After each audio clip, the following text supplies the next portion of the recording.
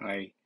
Um, this, this is um, this is an open letter to Samir Geagea, a Lebanon uh, war era militia commander turned post war politician who actually reinvented himself as a, as a sovereignist party militant and unfortunately later morphed into a poet and a sloganeer and purveyor of silly proverbs and, and poetic platitudes in, in a cringy, stilted fusha, uh, sort of like, you know, one of his favorite uh, slogans Yes, we can. Yes, we will. We will soil our pants. Uh, that's for sure. Um, this is also a, a response to Sleiman Frangieh's benighted uh, Arabist discourse of the past few months. Is really uh, nauseating to to listen to him and, and read his tweets in also in elevated uh, modern standard Arabic. Uh, this guy is a uh, Maronite feudal lord. He's a presidential hopeful. Uh, he had his political uh, formation in the Assad family's slaughterhouse uh, in the company of street thugs like uh, Basil al-Assad, who is his uh, his guiding light, um, and a, he's also a good friend of uh, that criminal Basil's uh, younger brother, who's uh, cutting his teeth pretty well in this crime family, the physician.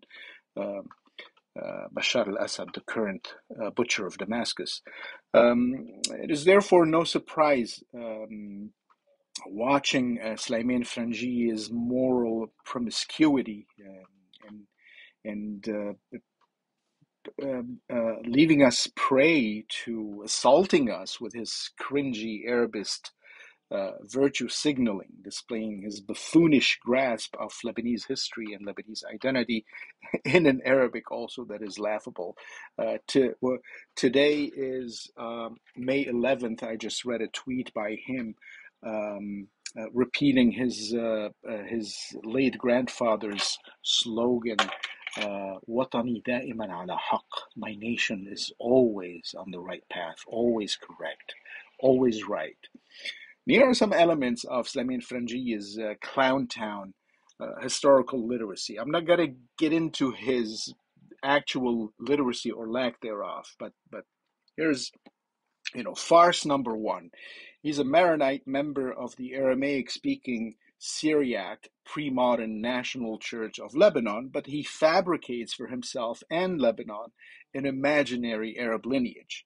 This would be analogous to an English speaking member of the pre modern National Church of England, say King Charles II. Not that I'm comparing uh, Royal Chuck with an obscene, half literate feudal chieftain like Sleiman Frangieh, but making the claim that members of the Syriac pre modern National Church of Lebanon are Arab would be like claiming English speaking members of uh, the pre modern National Church of England are French.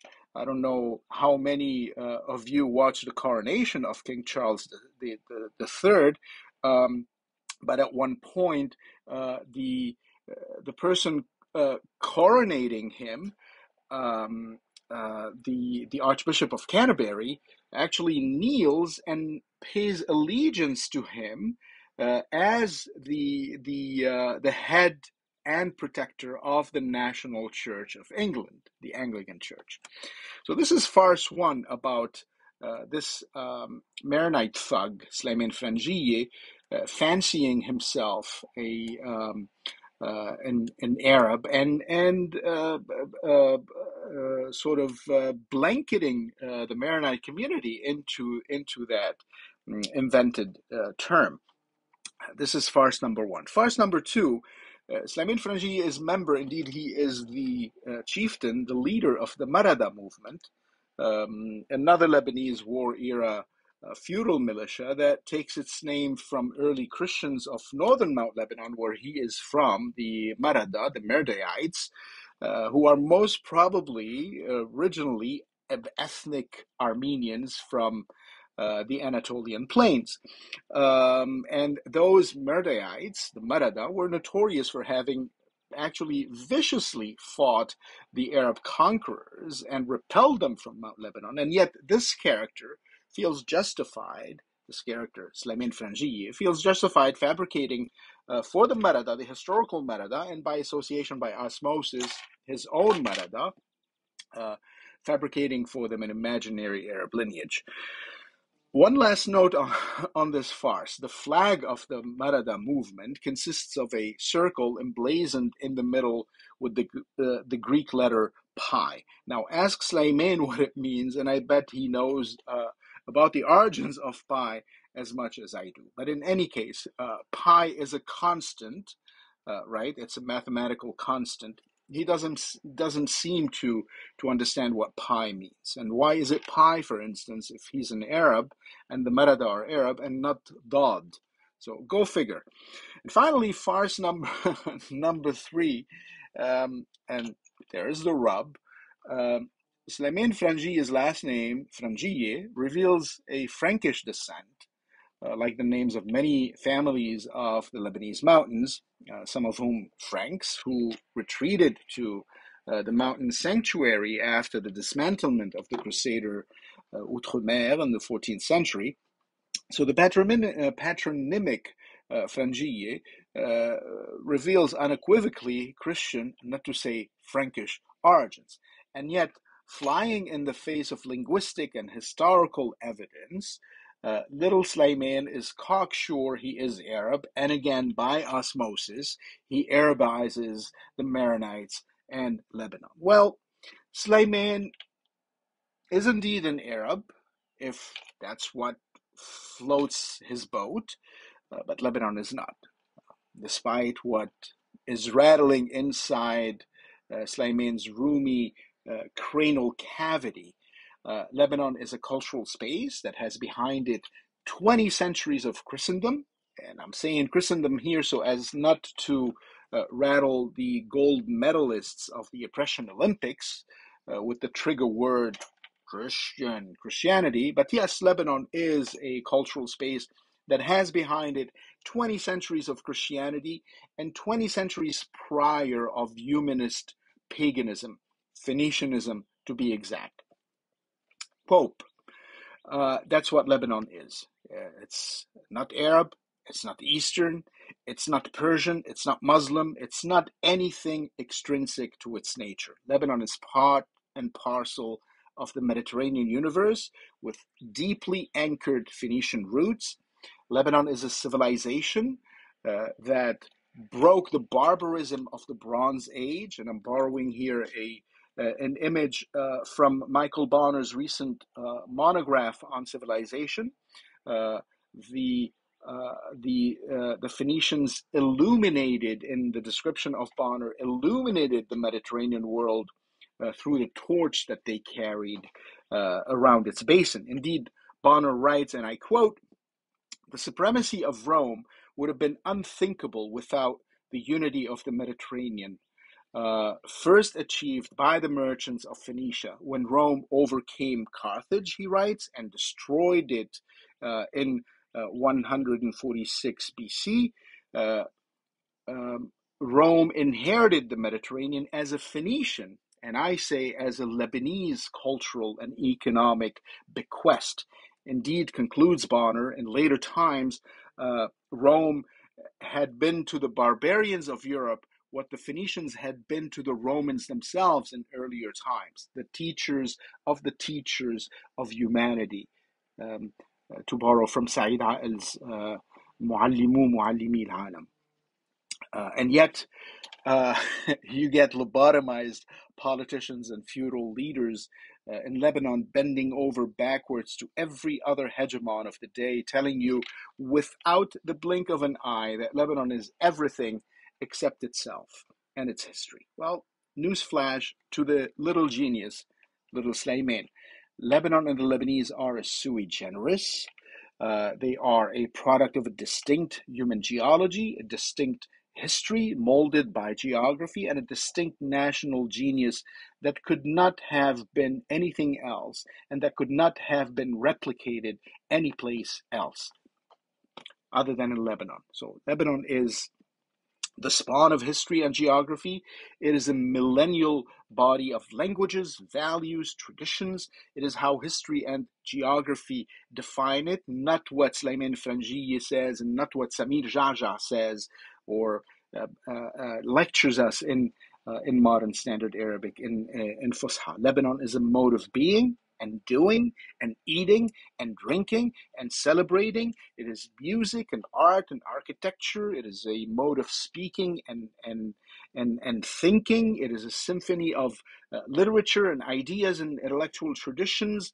A subtlety of spirit, a savoir-faire, a savoir-vivre, a savoir-dire. Lebanon is a rich gastronomy, an enthralling landscape, a form of cultural suppleness and elegance, a particular language uh, that is an imbrication of languages with a particular psychology and music all its own. It is a kind of kindness and openness and hospitality to the world. It is uh, Qadmus and Europa and uh, Ulpian and, and Fakhreddin and Bashir and Charles Korm and Khalil Gibran and Nadia Tueni and, and, and Charles Malik. And so Samir Geagea's choice uh, is between continuing to prattle nonsense like Sleiman Frangieh, sort of to counter Sleiman Frangieh in a souk Ukaz type of uh, reciting uh, useless poetry and, and slogans. So he has a choice between continuing on that path, bravo, uh, or getting an education.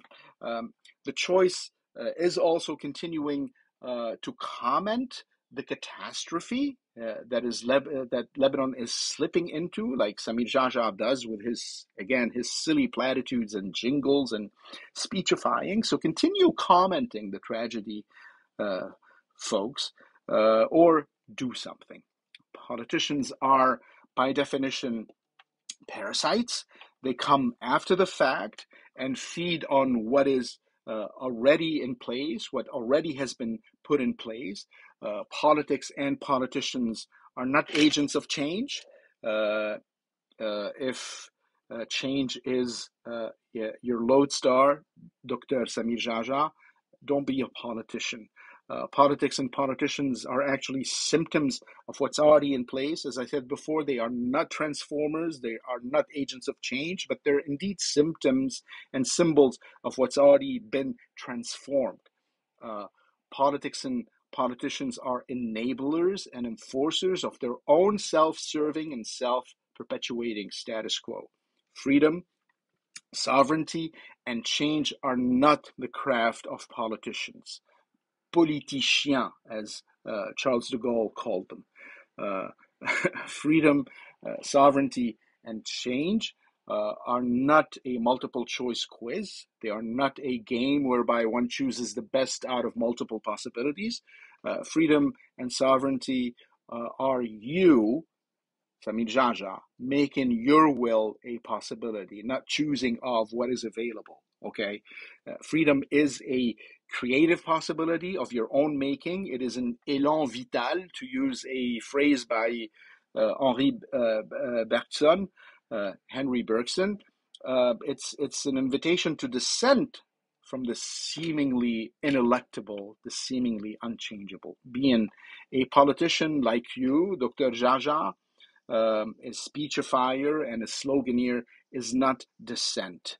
Uh, sort of sloganeering to counter uh, the, the, the the favored presidential uh, uh candidate right now, Little Sleiman. So so speechifying to counter what he says and what he does is not dissent. There is no élan vital in what you are doing and what you are saying currently. Your job is to walk ahead of the crowd, to lead, not to speechify and versify. Read Henri Bergson and uh, get back to us. All right? Thank you, sir. Thank you, doctor. Thank you, little Sleiman. Mm, bye bye.